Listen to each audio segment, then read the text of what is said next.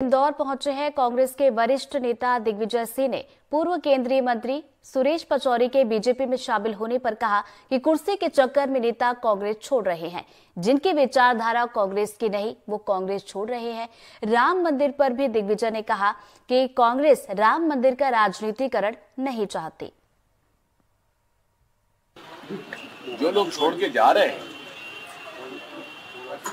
मुझे लगता कोई विचारधारा की बात है। और विचारधारा की अगर बात ही तो कांग्रेस में आए क्यों?